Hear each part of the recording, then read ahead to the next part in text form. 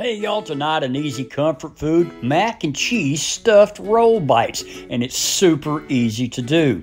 Now make your mac and cheese the way you normally would, freeze in the freezer one to two days, and when you're ready to cook, take it out and microwave only 20 seconds to make it easier to cut into about one inch strips.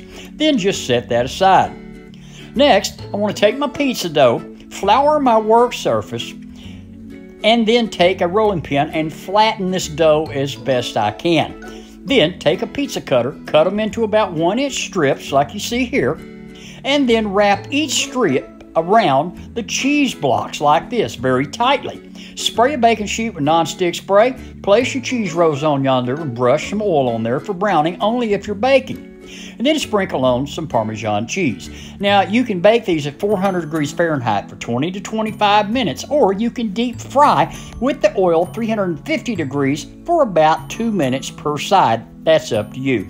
Next, just plate them up, cut them into bite-sized pieces, and enjoy.